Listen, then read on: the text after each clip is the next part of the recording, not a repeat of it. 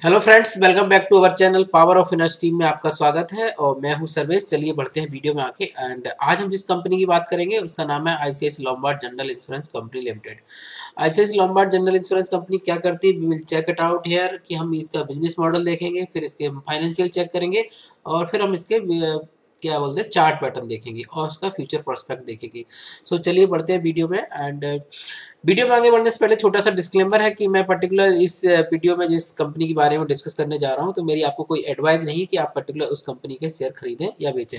ICIC Lombard की जब हम यहाँ पे वेबसाइट पे आए हैं तो they are in the general insurance general insurance life insurance से अलग रहता है, ये जनरल इंश्योरेंस करते हैं, और जनरल इंश्योरेंस में इनका यहाँ पे दिख रहा है मोटर इंश्योरेंस करते हैं मतलब ये व्हीकल का इंश्योरेंस करते हैं motor insurance car insurance bike insurance और हेल्थ इंश्योरेंस का प्रोडक्ट भी ये बेचते हैं तो हेल्थ इंश्योरेंस में ये सारे प्रोडक्ट आ रहे हैं हेल्थ इंश्योरेंस ऐसे Lombard complete health insurance ICIC Lombard complete health insurance इनका काफ़ी लोकप्रिय प्रोडक्ट रहा है हेल्थ बूस्टर पर्सनल प्रोटेक्ट और ये बाकी के इनके हेल्थ इंश्योरेंस के प्रोडक्ट हैं and so and travel insurance भी they are providing the travel insurance अगर आप बाई प्लेन जा रहे हैं आपको इंश्योरेंस कराना तो वो करा सकते हैं आप सिंगल ट्रिप करते हैं गोल्ड मल्टी ट्रिप करा सकते हैं स्टूडेंट ट्रेवल इंश्योरेंस भी करा सकते हैं। Business insurance in the sense of जब हम कोई लोन देते हैं बैंक जब लोन कोई लोन देती है तो उनको इंश्योरेंस करने के लिए बिज़नेस इंश्योरेंस रहता है, जिसमें फायर इंश्योरेंस और ये बाकी के इंश्योरेंस मरीन जो भी इंश्योरेंस रहते हैं बिज़नेस के स्टॉक को या फिर उसको सिक्योर करने के लिए तो ये यहाँ पे बिज़नेस इंश्योरेंस रहते हैं।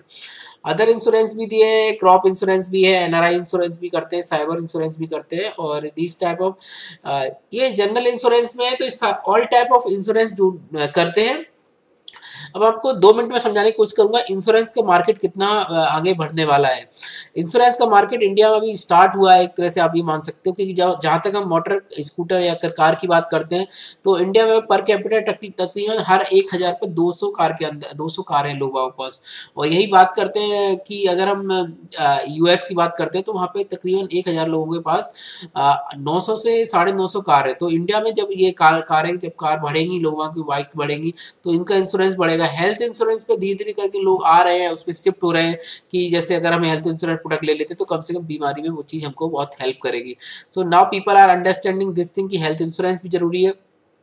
आज की तारीख में जैसे आप जानते हो कि ट्रेवल इंश्योरेंस भी लोग कराते हैं ट्रेवल इंश्योरेंस इसलिए कराते हैं कि सपोज़ अगर उनको कुछ हो जाए या उनके कुछ सामान को भी लोग इंश्योरेंस कराते हैं, वो लॉस्ट हो जाए बाय इन एयर में या प्लेन में या ट्रेन में तो they are doing travel insurance also और बिज़नेस इंश्योरेंस तो दिन पर बिज़नेस जैसे बढ़ेगा, जैसे बैंकों का, ये आई बैंक खुद भी एक बैंक है तो उनके पास जितने भी बिज़नेस लोन होते हैं तो उनको इंश्योरेंस करते हैं तो बिज़नेस इंश्योरेंस इनका ऑलरेडी बढ़ेगा।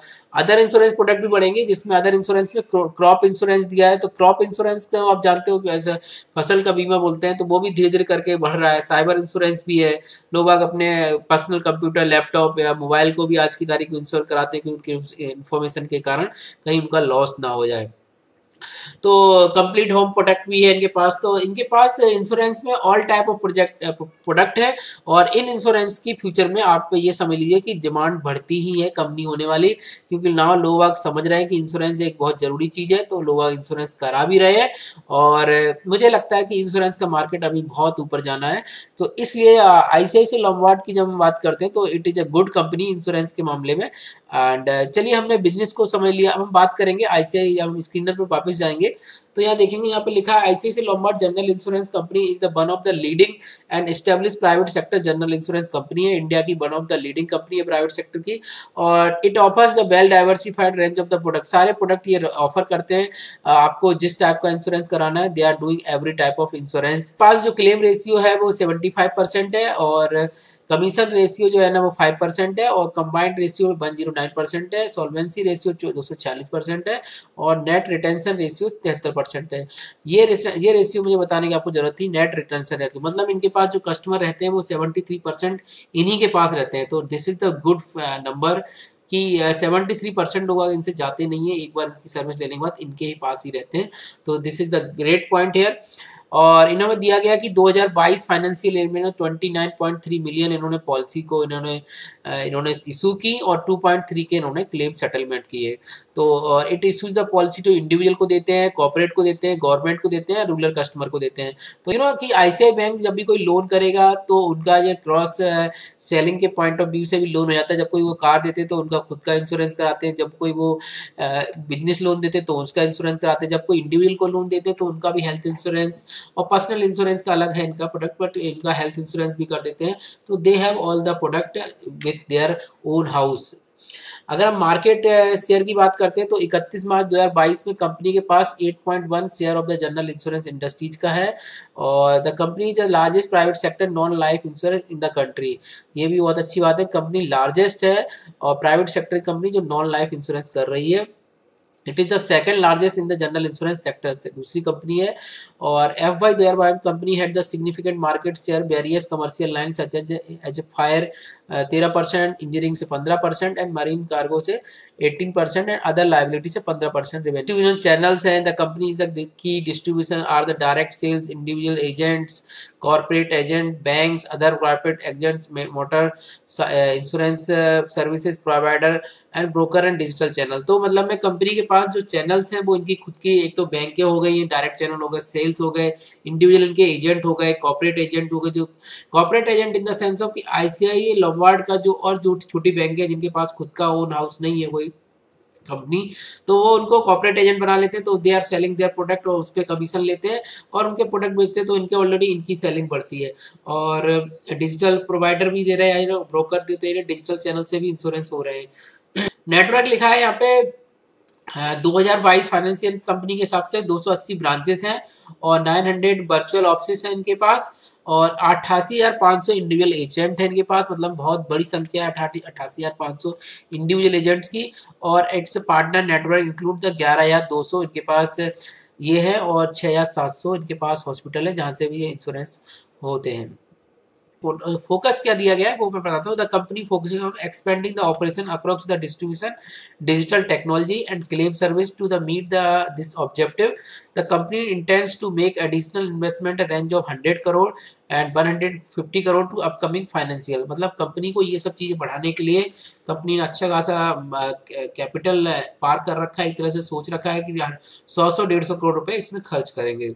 यहाँ पे मार्केट कैप उसकी अट्ठावन आठ सौ निन्यानवे करोड़ है और करंट प्राइस स्टॉक की बारह सौ रुपये चल रही है और स्टॉक का लो और हाई फिफ्टी टू वीक का चौदह सौ छियासठ एंड दस सौ इकहत्तर रुपये गया है। स्टॉक का P thirty six point seven है और इंडस्ट्रीज़ का पी सेवेंटी सेवन है। तो यू कैन अंडरस्टैंड कि लगभग फिफ्टी परसेंट डिस्काउंटेड ये शेयर मिल रहा है अभी और बुक वैल्यू दो सौ पाँच रुपये डिविडेंड भी देती है zero point seven five percent वो भी अच्छी बात है। आरओसी अच्छी है नाइनटीन पॉइंट टू है इंश्योरेंस सेक्टर में। R O fifteen point one है फेस वैल्यू स्टॉक की टेन रुपीज़ है प्रोमोटर की होल्डिंग बहुत अच्छी है forty eight percent profit growth भी थर्टी ट्वेंटी थ्री परसेंट से ग्रो हो रहा है। और नंबर ऑफ़ इक्विटी सिर्फ़ पैंतालीस पॉइंट फाइव करोड़ है। और प्रॉफिट आफ्टर टैक्स 1605 करोड़ रुपए आया है। मार्केट कैप तीन साल पहले छियालीस हज़ार नौ सौ चवालीस करोड़ की हुआ करती थी। और इंडस्ट्रीज़ का पी मैंने आपको बताया 77.8 है।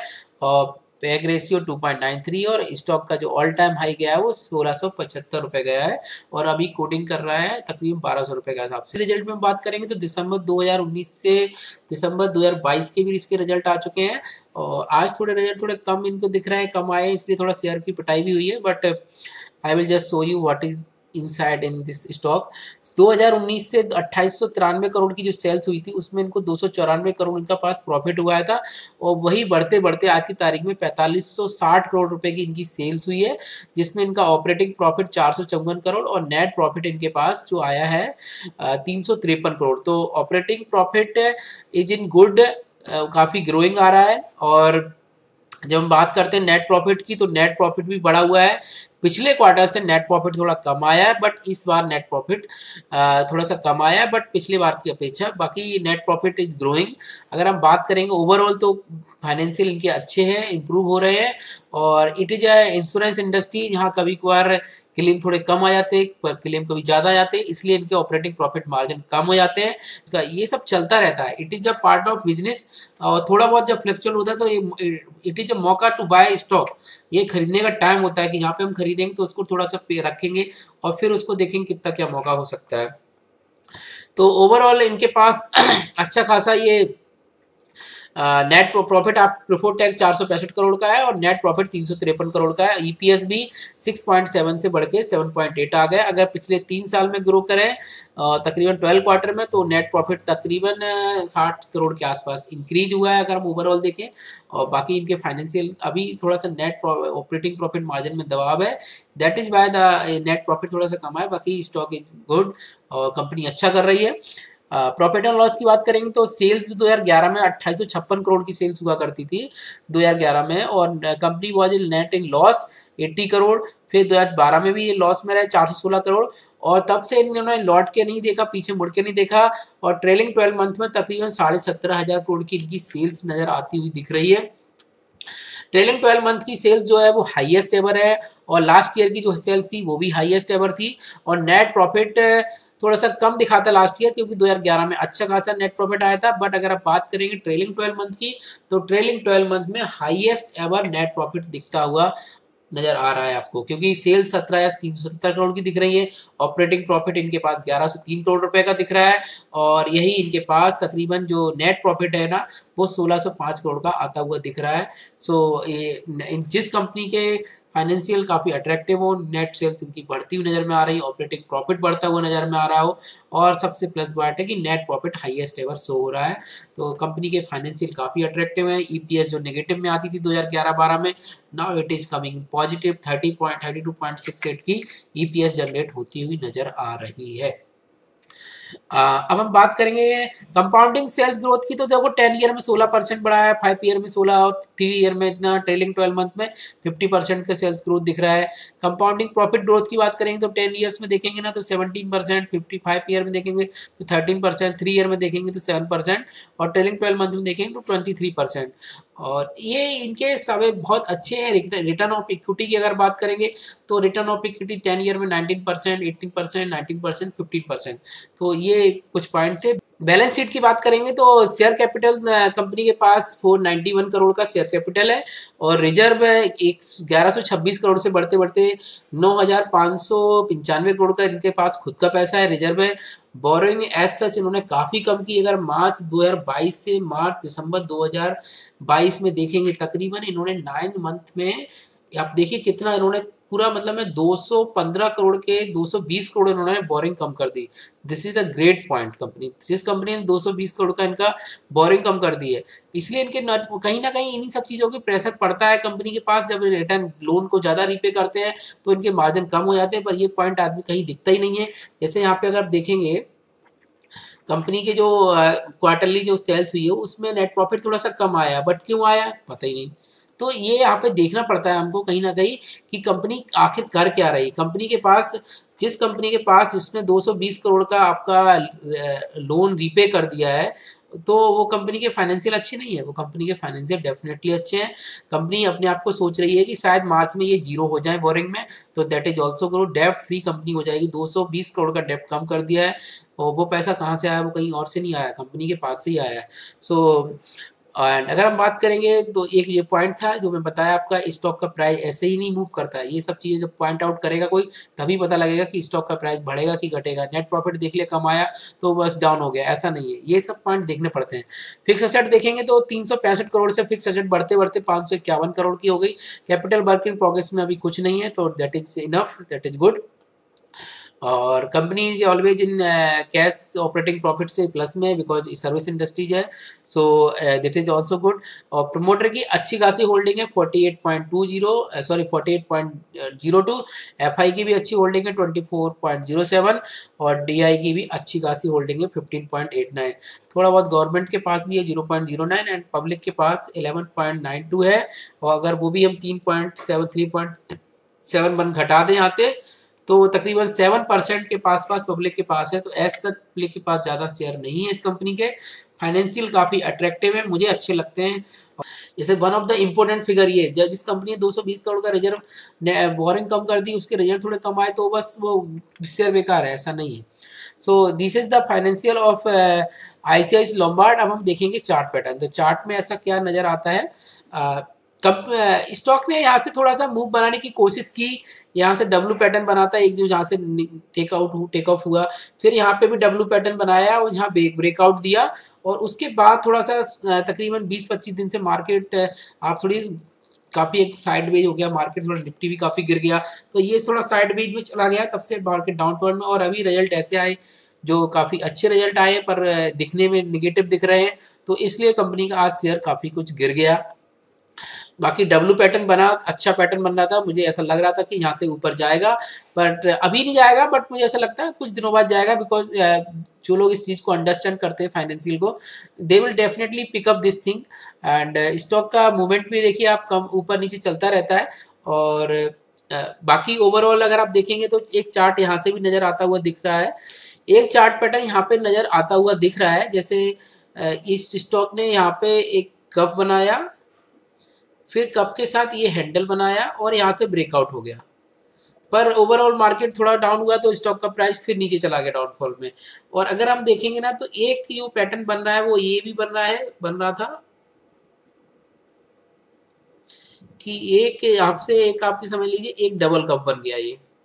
Cup with double handle pattern तो जब ये पैटर्न मुझे ऐसा लग रहा है, ये कब बना, फिर एक हैंडल बना, फिर एक और हैंडल बन गया और अभी थोड़ा सा रिज़ल्ट के कारण गिर गया but I don't think so कि ये सब चीज़ें नीचे रहेंगी और अगर हम बात करते हैं इसके लॉन्ग टर्म के हिसाब से कि इसको अगर लॉन्ग टर्म लेके रखे, चलते तो स्टॉक का जो हाईएस्ट एवर था, वहाँ तक पहुँचना आसान है और अभी जो स्टॉक ट्रेड कर रहा है, उस रेट से हम देखें मूव कितना बन सकता है। प्रेजेंट प्राइस वन परसेंट का ये अच्छा खासा मूव नज़र आता हुआ दिख जा, दिख रहा है और आई डोंट थिंक सो कि एक साल में नहीं आया। एक साल में आ जाएगा, एक साल में नहीं आया तो दो साल में आ जाएगा। क्या जा रहा है? कंपनी अच्छी है और अगर इसको आप लॉन्ग टर्म लेके रखेंगे आठ दस साल के लिए तो ये अच्छा खासा रिटर्न दे सकता है। तो this is the video of I C I Lombard एक एजुकेशन वीडियो बनाने की मैंने कोशिश की। आपको थोड़ा सा एजुकेट थोड़ा समझाने की कोशिश की how to understand financial how to understand chart कैसे समझ में आगे। अगर वीडियो अच्छा लगा हो तो वीडियो को लाइक कर दें और चैनल को सब्सक्राइब कर दें।